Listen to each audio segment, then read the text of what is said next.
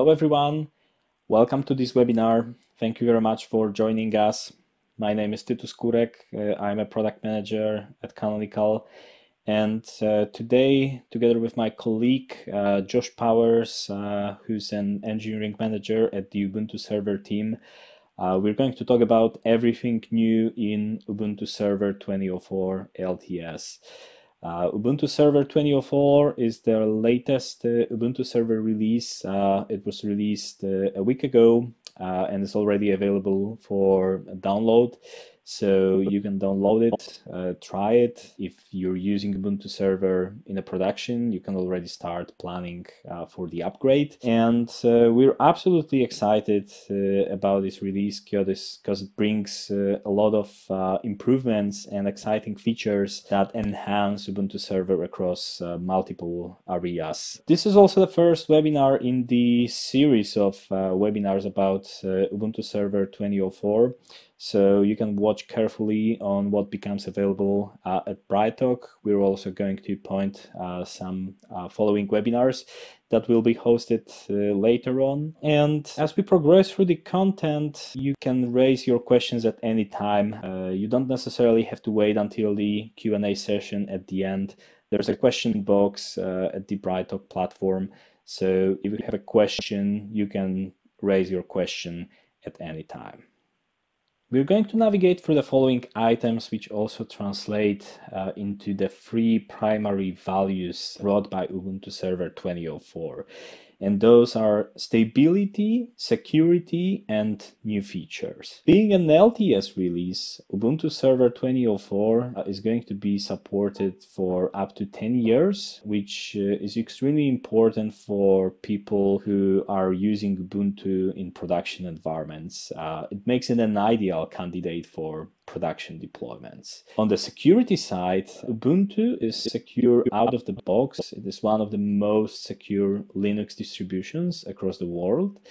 Uh, but also this release brings a lot of new enhancements towards security, both in the kernel space and the user space. So we're going to discuss that. And uh, finally, it brings a lot of new features uh, which enhance Ubuntu server uh, across uh, various areas. So we're going to discuss those features one by one. Before we get started, let me say a couple of words about uh, Ubuntu itself. Uh, so as you probably know, Ubuntu is a Linux distribution that is based on Debian, but uh, it is designed uh, to be user-friendly. And uh, especially Ubuntu Server is designed for developers and IT operations teams. So why is this topic important? Why is uh, Ubuntu important? Why may it be important for you? Well, this is because Ubuntu is everywhere. Uh, it is in public clouds. It powers from 60 to 80% of workloads running on top of public clouds. Uh, but uh, Ubuntu is also in private clouds. Uh, Ubuntu is the most popular uh, operating system used as a basis for OpenStack deployments. Uh, it is also used uh, as a basis for Kubernetes deployments. And uh, due to its lightweight architecture, most of the container images are based on Ubuntu. But Ubuntu is also available on desktops, Edge, and IoT. So Ubuntu is everywhere. And this is why this topic is important. One of the biggest advantages of Ubuntu Server 2004 LTS is the stability that it brings. And uh, this stability comes through the fact that 2004 is an LTS release, and LTS stands for long-term support. What does it mean in practice? Well, it means that uh, Ubuntu Server 2004 LTS uh, provides up to 10 years of support, which is uh, very long, very long period of time. As you probably know, Ubuntu is released every six months. However, the interim releases of uh, Ubuntu are supported only for nine months. However, every two years, there is an LTS release of Ubuntu that is supported for five years by default. But commercial customers uh, who are covered under the Ubuntu Advantage uh, support subscription can subscribe for an extended security maintenance package that provides uh, additional five years of support. So this results in 10 years of support, and this is what Ubuntu Server 2004 brings, which makes it extremely stable and suitable for production deployments. Apart from the stability, uh, Ubuntu Server 2004 also brings uh, security, and uh, this is coming from the fact that uh, Ubuntu is one of the most secure Linux distributions. So it's secure out of the box, but also being an LTS, it provides uh, up to 10 years of support, uh, which includes security patches. So in practice, it provides up to 10 years of security. Ubuntu always comes with a newer stable kernel that also brings uh, various security extensions and improvements. This is not any different this time, and we're going to discuss certain features uh, which uh, are coming in the new stable kernel that is included in 2004. Also, applying a prioritization process towards uh, common vulnerabilities and exposures and uh, applying security patches uh, 24 per 7. Uh, it is one of the Linux distributions with the fastest reaction time towards uh, common vulnerabilities and exposures. All of those patches can be automatically applied towards uh, Ubuntu server instances through the automatic security updates. It includes AppArmor for mandatory access control, kernel live patch service for commercial customers who are covered under the Ubuntu Advantage support subscription. Kernel Live Patch service allows to update the kernel of the operating system without uh, the need to reboot the host. It provides a secure snap packages repository and uh, various security extensions that we'll discuss later on. So the stability and security values are coming from the fact that uh, Ubuntu Server 2004 is an LTS uh, release of Ubuntu. But uh, 2004 brings a lot of enhancements and new features on its own. So this is what we're going to discuss in the following sections of this webinar. So first of all, Ubuntu Server 2004 LTS uh, supports uh, all major architectures, including uh, x86-64, ARM64, ARM v7, Power 8, Power 9, and uh, IBM S390X which uh, means that you can run it on top of almost any hardware, especially the hardware commonly used uh, to build the infrastructure part of the data center. But uh, starting with the 2004 release, uh, Ubuntu Server also provides an initial support for uh, RISC-V, which is an uh, open standard uh, instruction set architecture based on established RISC principles. Um, that's provided under open source uh, licenses. So this is a new thing in 2004, and we're uh, absolutely proud to provide this initial support for RISC-V. There have been some major updates to key software components that uh, build the Ubuntu server uh, software stack. Uh, those include QEMU and libvirt for virtualization, Ruby and Python for development and uh, development frameworks. MySQL as uh, one of the most popular database uh, uh, platforms on Linux, uh, Nginx, uh, one of the most popular web servers for Linux, and also PHP and GCC. Uh, in general, Ubuntu strives to be at the forefront of the technology, always supporting the uh, latest software versions. So this is not any different uh, this time. And at this point, I'm going to hand over to Josh, who will walk you through more uh, technical features that are coming with uh, Ubuntu Server 2004 LTS. Um, just as a reminder that uh, you can put your questions in a question box at any time. Uh, you don't necessarily have to wait until the Q&A session. So if you have a question, you can put it uh, in the question box uh, even now. Over to you, Josh.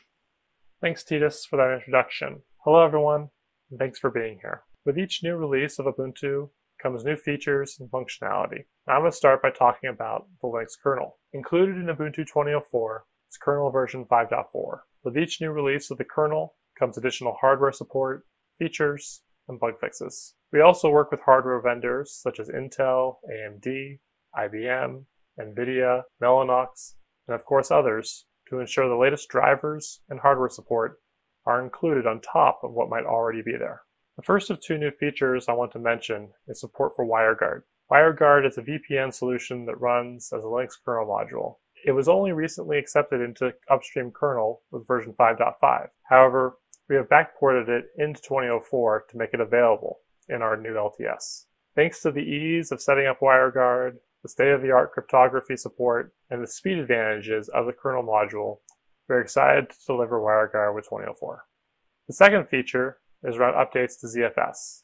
Focal include ZFS version 0.8.3. Included with this version come native encryption with hardware acceleration, device removal, pool trim, and finally sequential scrub and resilver for a large increase to performance. Finally, security. The critical security issues discovered in both hardware and the kernel over the last couple of years have allowed our kernel and security teams to demonstrate their ability to quickly deliver fixes.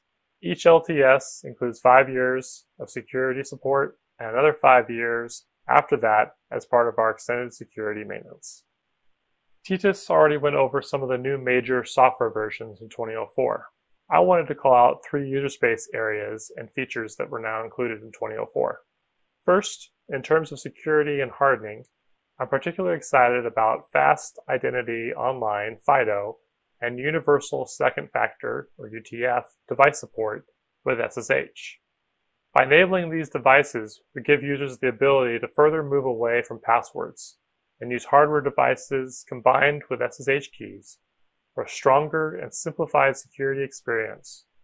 Next, taking a look at virtualization, speed is the story. QEMU and libvirt come with increased hardware limits, faster migrations, and greater NVMe support for even faster virtual machines. Additionally, we have included a new ROM and machine type and a minimized QEMU build that will allow users for, to launch even faster x86 VMs. Finally, on the high availability front, we took the time to dig deep and update the entire stack. From KronosNet, CoroSync, and Pacemaker, all the packages got major updates. A lot of effort went into provide these new versions, bug fixes, and updated documentation. Turning to the cloud. Ubuntu 2004 images are already available across the largest public cloud providers. As we make Ubuntu even stronger in the cloud, here are some of the new features and products we've been working hard on. On AWS, we have enabled support for the latest AMD and ARM-based computing types to provide optimized cost and performance for scale-out workloads. We added the ability to use version 2 of the instance metadata service on AWS for even more secure instance bring-up, and enabled Amazon's Instance Connect feature integration into Ubuntu images. Ubuntu instances also use a custom kernel for increased performance and stability. Turning to Microsoft Azure, we added support for AMD instance types, as well as our Gen 2 instance types that provide UEFI support. We are currently participating in the Azure Confidential Computing Preview, which will enable Secure Boot. Ubuntu support will be ready to go once that feature is released. Ubuntu not only provides a custom kernel, but a rolling, rolling custom kernel, so users will always have the latest version with all the latest features on Azure. Users on Azure will also be able to take advantage of greater IPv6 support out of the box due to updates to Cloud Init, and take advantage of the automatic time configuration using Microsoft's own Stratum 1 time service. On GCE, Ubuntu users will find a rolling kernel as well for the latest features and versions. Support for shielded VMs to enable UEFI and Secure Boot is also added. And on Google Kubernetes Engine, GKE, we provide Ubuntu Node images, also with GPU enablement. On IBM Cloud, there are Ubuntu images for x86 and Power already available. Additionally, there are Ubuntu 2004 images available for IBM Power and Z images ready for download. Finally, on Oracle, we provide a custom kernel now. In addition to that, I also wanted to point out our minimal images. We offer these on AWS, GCE, Azure, and Oracle. If you're looking for an even smaller image with a smaller footprint or a reduced attack footprint, then consider using these images.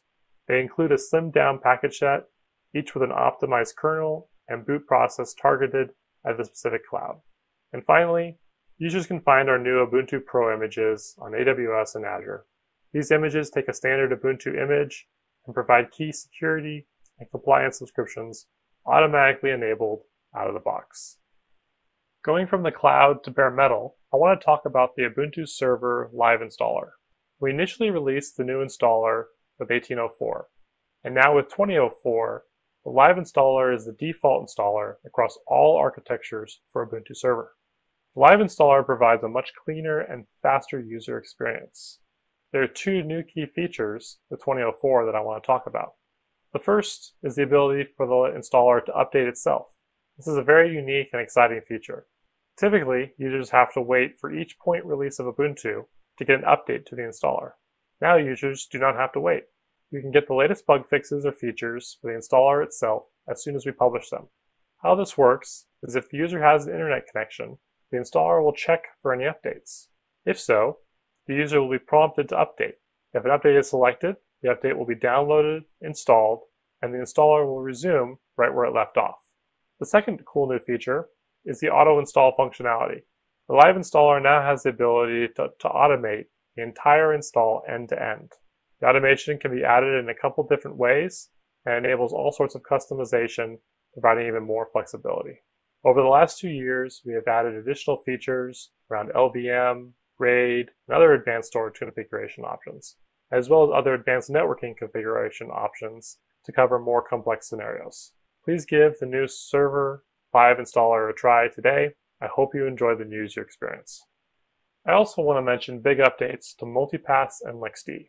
First, with Multipass, you can launch a mini cloud of Ubuntu virtual machines on your Linux, Mac OS, or Windows-based system. This is a fantastic way to quickly develop locally using Ubuntu, no matter what platform you're running on top of. Multipass will boot using the native hypervisor of your platform, whether that is Hyper-V on Windows HyperKit on Mac OS, and KVM on, on Linux. If those are not available, Multipass can also make use of VirtualBox. All of this is done is to ensure the fastest startup time along with a custom-tuned Ubuntu kernel for each hypervisor to provide the best I.O. and performance. Release 1.1 was a few weeks ago and again is available for Windows, Mac OS, and Linux. You can learn more about the project on the website multipass.run. For those of you not familiar, LXD containers provide a fully functional OS that is running on a file system and brings the same performance and latency as application containers, but with increased security and have optimized resource consumption. With the recently released version 4.0, users can now launch virtual machines in addition to containers, all with the same clean user experience. The new release also added projects to help users organize their containers and now VMs. Combined with the role-based access control, users can expand the adoption to those needing more fine-tuned access controls. For an excellent getting starting guide and even try LXD out, check out the Linux Containers website. Finally, I want to invite users and the community to get involved and help us with Ubuntu Server. We have a discourse forum set up with an Ubuntu Server section where users can respond to proposed new features, hear of upcoming changes, and provide their own ideas and feedback directly to the developers of Ubuntu Server. Our server guide was completely revamped for Focal and is now available on ubuntu.com. With a big facelift and an easy way to contribute via the discourse forum, the server guide is better than ever.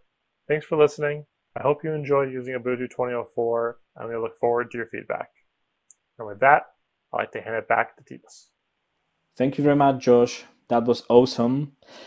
So now, as we've learned about uh, all of the new features that came with uh, Ubuntu Server 2004 LTS, let's talk about uh, some next steps. So where can you go from here to start your journey with uh, Ubuntu Server 2004? So the first thing I would like to encourage you to do right after this webinar is to download it and try it. Ubuntu Server 2004 was released a week ago, so it is already available for a download. Uh, you can just go to ubuntu.com slash server slash download uh, and download an image for uh, your computer. And you can install it on your workstation on an, any spare server that you have, or just use multipass to launch a virtual machine with uh, 2004 or try it in a public cloud and basically experiment with all of the new features uh, that came with the latest release. And uh, once you experiment with them, uh, I would uh, encourage you to provide a feedback. You can always go to the new uh, Ubuntu server guide at uh, ubuntu.com slash server slash docs slash reporting bugs and uh, report any bug that uh, you may potentially face. Your feedback, your honest feedback is always appreciated by us. The next step after trying Ubuntu Server 2004 LTS would be to plan for the upgrade. If you are using Ubuntu Server in a production, I can imagine two situations. Either all of your workloads and infrastructure components are running on top of uh, Ubuntu Server 19.10 at the moment, or you're at uh, Ubuntu Server 1804 LTS, which is the previous uh, Ubuntu LTS release. So first of all, both upgrade paths are fully supported, but the actual upgrade plan may depend on what are you using Ubuntu for and uh, what, what are the actual workloads that are running on top. So uh, it may differ depending on whether you're just running some applications uh, on Ubuntu server in a public cloud or whether all of your infrastructure components such as uh, private cloud, for example, OpenStack, Kubernetes, Ceph, uh, are deployed on top of uh, Ubuntu. So in order to help you design the upgrade plan and upgrade to Ubuntu Server 2004 without pain, uh, we're going to host another webinar that's going to be titled Migrating Your Infrastructure to Ubuntu 2004 LTS How, When, and Why. So I would encourage you to watch BrightTalk carefully and uh, register for this webinar as soon as it becomes uh, available. This is where we'll talk about the upgrade plan for the migration from previous Ubuntu releases to 2004 and we'll address all of those concerns. Another important topic to mention is OpenStack Ussuri release uh, that is coming soon. So you may be wondering uh, why are we talking about OpenStack during the Ubuntu server uh, webinar? Uh, and the answer is pretty straightforward. So at Canonical, we see a lot of organizations running their OpenStack private cloud infrastructure on top of Ubuntu server. So those topics are uh, kind of correlated. And also the release cadence of OpenStack is correlated with uh, the release cadence of uh, Ubuntu. So OpenStack Ussuri is coming in May, uh, and it's going to be an LTS release of uh, OpenStack on Ubuntu in the same way that Ubuntu Server 2004 is an LTS release. So if you would be interested in listening about all of the new features that are coming in OpenStack Ussuri, I would like to invite you to join another webinar that's titled OpenStack Ussuri What's New. It is also worth mentioning that the development cycle for Ubuntu 20.10 has already begun as uh, it was uh, said previously in this webinar, uh, Ubuntu is released every six months uh, with uh, LTS uh, releases being available every two years. So being an LTS, 2004 is going to follow with 20.10, which will be an interim release. it will be supported for nine months, but is also going to include a lot of new features uh, that will be delivered during the following uh, development cycle. So I hope to see all of you in October during the webinar about Ubuntu Server 20.10. And finally, I'd like to encourage you to migrate to Ubuntu if you're not on Ubuntu yet, because there are certain reasons why you would like to migrate to Ubuntu from any other Linux distribution that you are using. Uh, so first of all, it's 100% open source. There's no license required. You probably know all of that.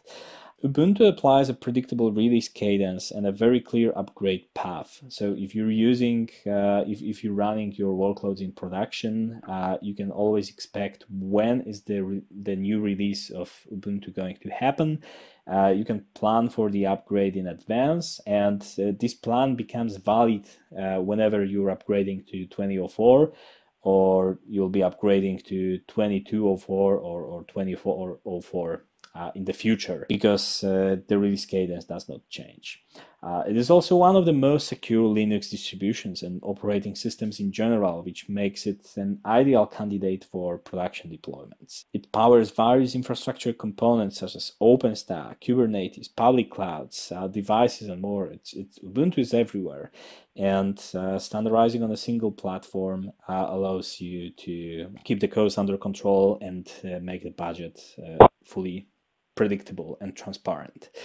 And uh, last but not least, is an enterprise Linux distribution because it provides a commercial support for enterprise customers under the Ubuntu Advantage support subscription. And uh, Ubuntu Advantage support subscription includes all of the necessary services to run workloads uh, in a production and those include uh, production grade SLAs, phone and ticket support, uh, extended security maintenance, kernel live patch, uh, and much, much more. And that's basically all for today. We would like to thank you all very much for your attention. As a next step after this webinar, we would like to encourage you to go to ubuntu.com slash download slash server. Download the latest version of uh, Ubuntu server, try it and provide your feedback. And now we'll be more than happy to answer any questions that you may have. Thanks very much for that, Josh and Tytus. Uh, we've already had quite a lot of questions come in, so we'll start going through them uh, now and hopefully we'll manage to get through them all. Uh, for anyone who hasn't managed to get a question into us yet, there's still time. So just write your question in the dialog box on the BrightTalk platform, and hopefully we'll be able to get to it. Um, we do have a lot of questions, so if we don't get around to answering your question, it's worth noting that we've included a link to contact us in the attachment section, um, where we've also provided a few other relevant webinars, pieces of content, and also uh, the link to download Ubuntu 2004. So it's definitely worth checking out. Um, so, Josh, Tytus, that's all the housekeeping we have. If you're ready, we'll just go ahead and dive right into the questions. Let's go. Perfect. So, the first question we have is I'm surprised not to see anything about Ubuntu Pro images. What are the plans for Ubuntu Pro 2004? Okay, uh, I think I can cover this one. So uh, yes, Ubuntu Pro is uh, one of our recent initiatives um, uh, to provide uh, images for public clouds that are designed for production and professionals. and those images contain certain features that are like based on the all of the goodness of regular Ubuntu images, but also bring features like uh, kernel live patch or uh, hardening. Uh, so they are as I said, designed for, for production and professionals. Uh, we didn't explicitly talk about uh, Ubuntu Pro in this webinar because uh, this is not, not really part of the 2004 launch.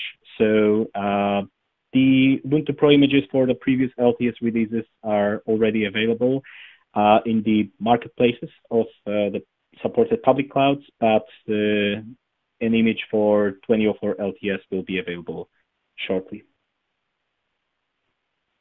Perfect. Thank you, Tytus. The next question we have is, do you provide any centralized management tool for Ubuntu, something similar to Red Hat Satellite?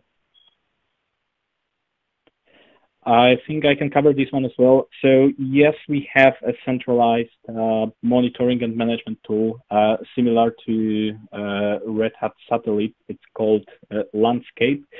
Um, so this tool provides uh, traditional operating system administration for bare metal Ubuntu machines, legacy containers based on Ubuntu and, and virtual machines. Um, it has uh, a package repository management uh, uh, with a support for offline deployments as well, security, audit reports, uh, compliance, uh, everything that's required to uh, monitor and manage Ubuntu servers instances centrally from a single place. It's called Landscape. Brilliant. Thank you. Uh, next question, I guess, is one for Josh. Um, so you mentioned that the development cycle for 2010 has already started. Could you please briefly talk on what's going to come next and what does the roadmap for 2010 look like? Yeah, so I wanted to first thank everyone for downloading and already upgrading to 2004. Um, for those of you that have already done it, we already have some feedback, ideas, and, and bugs coming in that we want to tackle. Um, our next big milestone is going to be 24.1, uh, the point release, which should come, out at the end of July. Um, and some of the areas that we want to tackle with that are around uh, the installer, um, trying to get minimal installs into the installer, as well as some additional hardware enablement um, features uh, there. And as I mentioned earlier, uh, once we have those features released into Subiquity, uh, you'll get prompted to update the, installer that you already have, and you can take advantage of these features even before the point release um, happens um, as soon as we land them in master and release them. Um, other areas that we're looking to beyond the point release um, is just greater uh, support with NetPlan around Open vSwitch um, and other features that we haven't been able to quite get in yet. Um, and you heard me mention ZFS, and I think one of the areas that we're looking into, we're still investigating what, what that would look like, would be ZFS on root. Um, on the desktop side, that installer already allows you to experience that um, and deploy a, a, new system with ZFS on root. And so we want to do the same thing with server. And so going through the initial investigation steps into looking at what that would take um, and, and how to deliver that best to our, our users. Awesome. Thank you, Josh. The next question is, how does the Ubuntu Advantage support subscription you mentioned differ from the Managed Applications Initiative announced by Canonical recently? Oh, I see. So, uh, yeah, let me take this one as well. So, uh, Ubuntu Advantage uh, is a commercial support uh, subscription that's available for enterprises uh, who are running uh, Ubuntu in uh, production environments. Uh, so what, what, what does Ubuntu Advantage include? I think it was briefly highlighted during the webinar, but just to recap, it's security patches, phone and email support, kernel live patch, and uh, extended security maintenance. Uh, all of that coming with uh, production grade uh, SLAs as required by the enterprises. While what you are referring to, the managed applications, uh, is our new initiative that was uh, announced, I think, at the beginning of April.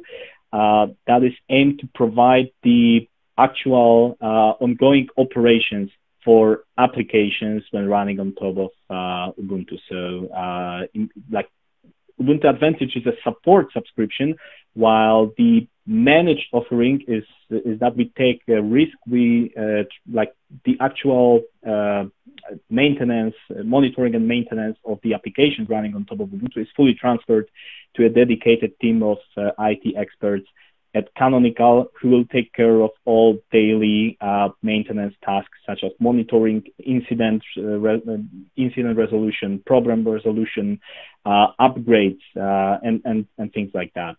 So uh, if you'd be interested in hearing more about managed application offering, I would encourage you to contact us directly. There is um, a, there is a link to the contact us in the attachment. Just to add to that, uh, we also have a Managed Apps webinar which aired last week. So if you look in our uh, Canonical Bright Talk channel, you'll be able to view that for some more information on Managed Apps as well.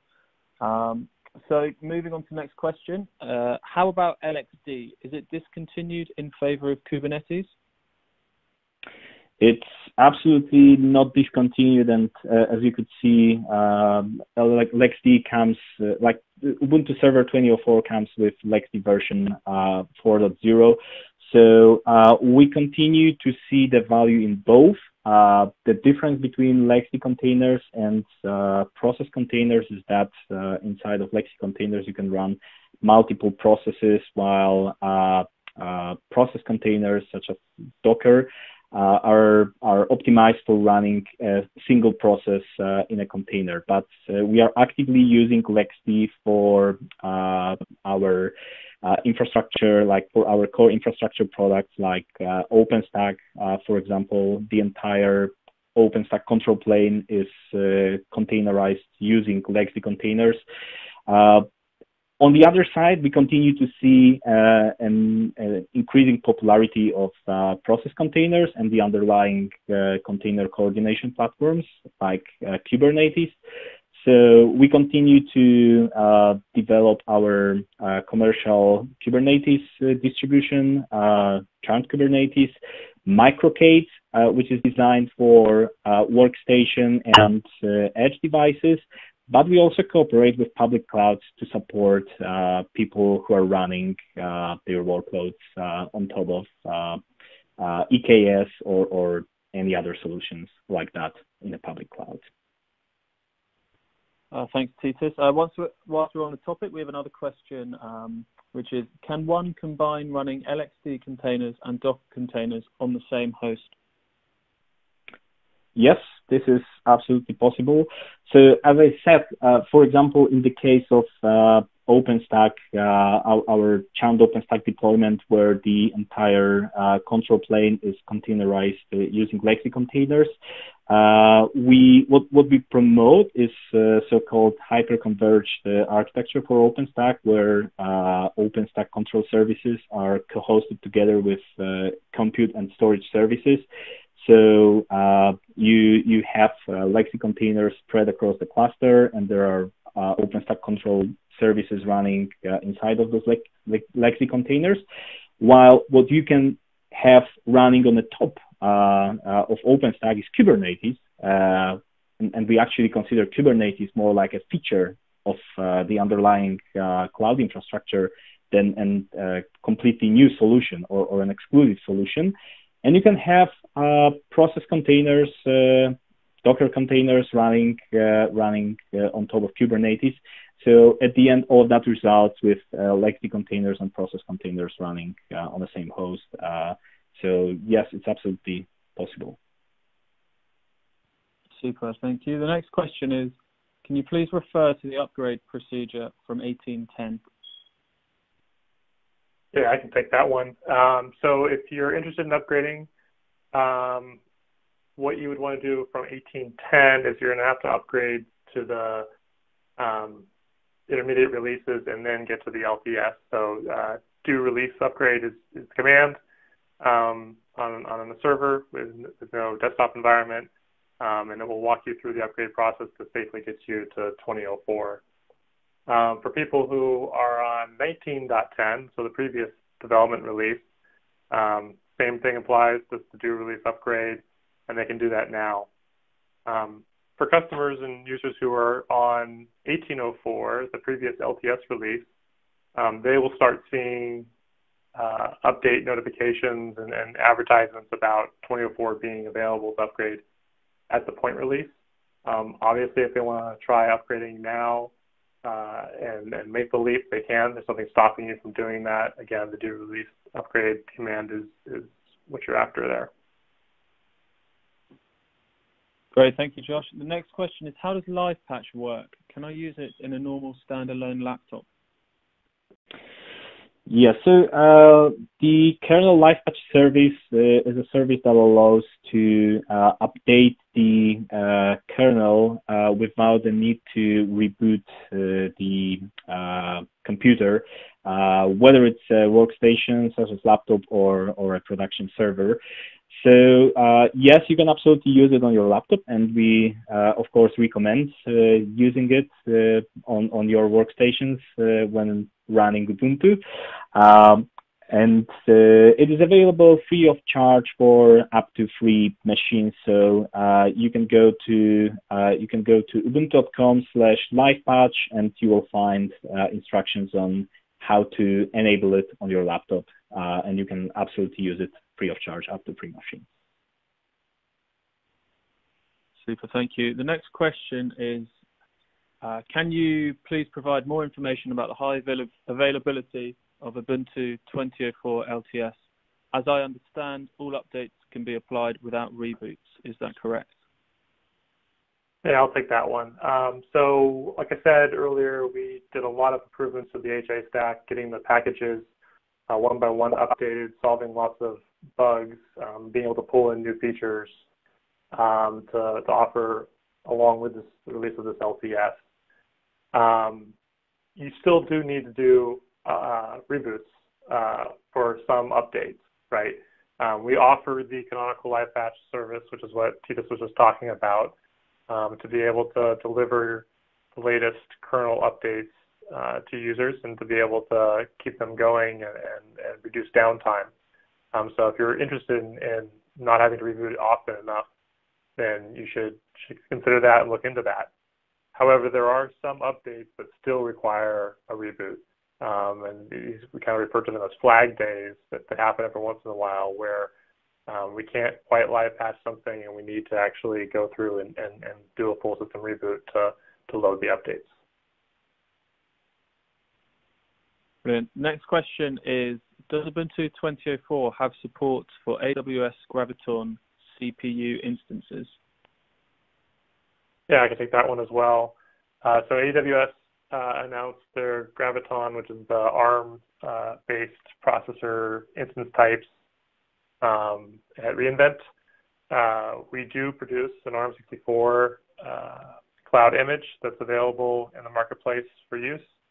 And so users who are interested in trying out these really cool, really new uh, instance types um, are free to, to use those ARM images as well as the AMD 64 images that we already offer today um, for the Intel as well as AMD-based instance types. Thank you. The next question is, um, can you recommend a UI to manage virtualization? Yeah, if you're just getting started or you want something graphical to help manage some virtual machines, the simple answer is uh, looking at Virt Manager um, and being able to quickly clone, create, and delete virtual machines um, is, an option. I would also suggest if you're just trying some machines locally, that's perfect use case for multipass um, and being able to build your own cloud or your own set of virtual machines on your, your local system. Um, with multipass, not only does is the UI really simple, to, or the, excuse me, the CLI really simple to use and really fast to, to learn. Um, there is a little bit of a GUI uh, that will help you be able to, to launch things quickly um, if you're, if you're just getting started with it. Thanks, Josh. The next question, I'm not sure if I'm reading this correctly, but uh, I interpret it as um, when can you automatically update from 1804 LTS to 2004 LTS? Yes, so, yeah, so let, let, let, let, me start with that, and Josh, maybe you uh, you you want to add uh, some sense uh, to that. So uh, yeah, first of all, I, am not sure I totally understand the question. So uh, there's a difference between updates and upgrades, uh, obviously. So you can update your Ubuntu packages at any given time, and you can enable automatic security updates, for example.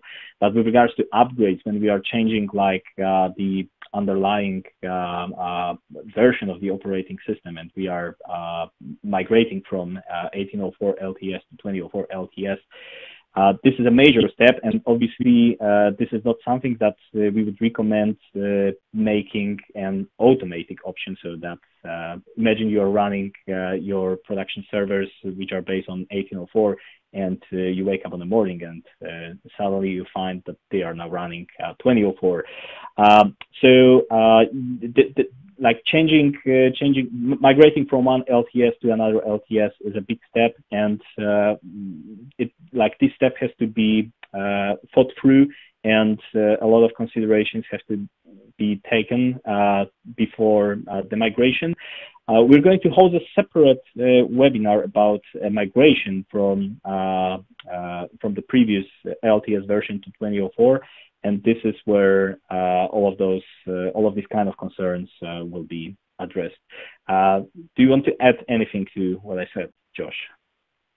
Nope, just another comment that again at the 2004.1 point release, that's when users will get notified about the, the 2004 release, start hearing about it more, um, and at that point they can they can choose they can choose today to upgrade once they've tested everything as well. Thanks, guys. Uh, the next question is, where is the documentation for automated installation? Right. So uh, with Subiquity or the live installer, uh, we added the, the auto install uh, mechanisms. Users can go to the discourse pages for, now. Um, on the discourse forum, we have a server section, and we have a number of topics talking about how auto install works. Um, and the plan is to get that documentation once we finalize everything a little bit more up on the actual server guide as well. Um, but for trying it out, um, reading about it, uh, asking questions, you know, head over to the discourse forum. Uh, let us know how how it works for you. Uh, read up on it, give it a shot, and uh, can find some more information there. Perfect. The next question is: Is a, is a paid support plan available in German? If so, how much does this support plan cost? Uh, again, I'm not sure I fully understand the question, so uh, I'm not sure whether it's a question about like is the collateral uh, about the commercial support, the paid support available in the German language. Uh, if, if that's a question, then I would uh, encourage you to uh, uh contact us directly uh, because uh, all of our public collateral is in English. so with regards to the support plan costs. Uh, I, I, think it was briefly covered during the webinar, but uh, just to recap, so there are three versions uh, of the Ubuntu Advantage for infrastructure support subscription. They are called Essential, Standard, and Advanced.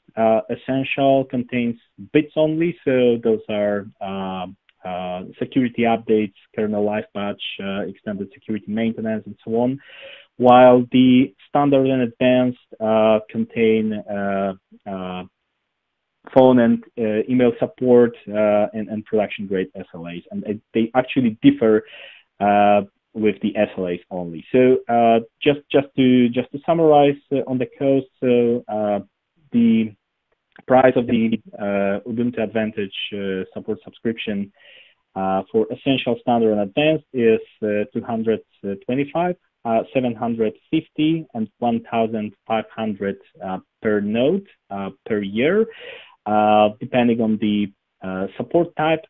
there are also plans for virtual machines because the prices I provided are for physical servers.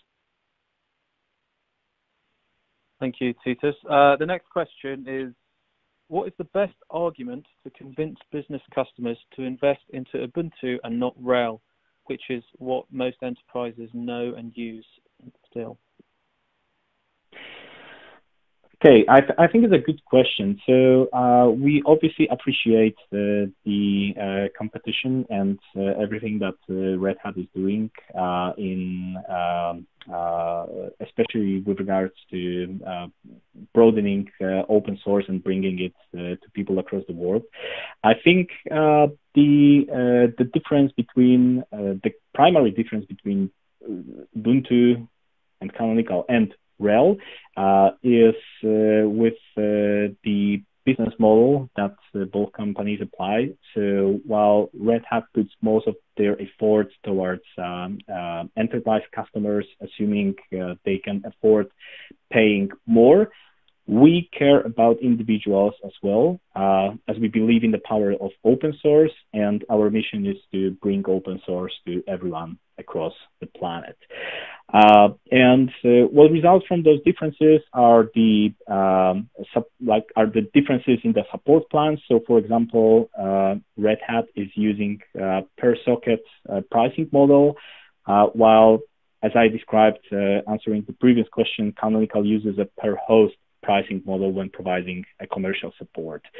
So um, these results uh, uh, in, in, like when the, the per socket per pricing model uh, is something that can quickly result with the budget going uh, out of control uh, uh, as you never know how many CPUs are you actually going to have in your data center while for the per node pricing model it is much more predictable. Also, the license uh, plays uh, an important role as uh, Ubuntu is available without any license, while most of the Red Hat tools like uh, Red Hat OpenStack Platform and Red Hat OpenShift are uh, available only per paid license. Excellent. Thanks, Tytus. Um, next question is, is multipass aimed at R&D slash development, or would it also be suitable for deploying slash managing live servers as well?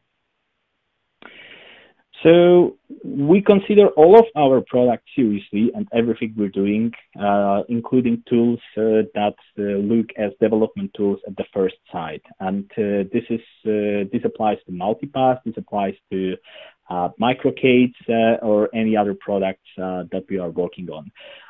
We see a big potential in all of the tools that we are working on. And uh, if you would be interested in cooperating with us, um, uh, or like not maybe cooperating, but if you would be interested in using Multipass in the production environment, we would be more than happy to help you be successful on your journey.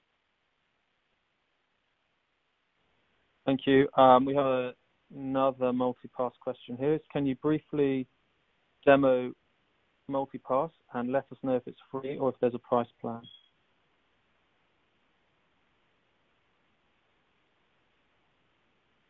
So I don't think we can demo that uh, during this webinar, but uh, there are a lot of uh, webinars and, and uh, short videos available across our uh, websites. Uh, so you can always visit ubuntu.com to check for any news.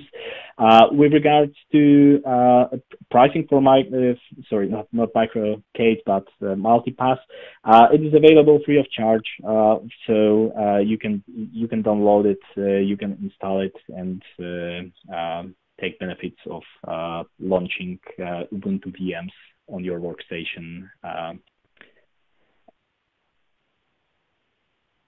Perfect. Thanks, Tytus. Um, we have another question here, a bit of a housekeeping question, which I can answer. Uh, someone's late because of another webinar. Um, if you missed the start of this webinar, you can just wait until we finish with the Q&A section, and then the webinar will be uploaded um, on demand so you can watch the whole thing. Moving on, the next question, can we compare Juju with OpenShift? I think that's a great question, and uh, I don't think we have uh, enough time uh, to fully answer this question during this webinar. But uh, I think uh, we're going to have some materials coming uh, about differences between OpenShift and using Juju on top of Kubernetes. Um, so you can watch BrightTalk for a webinar about this topic.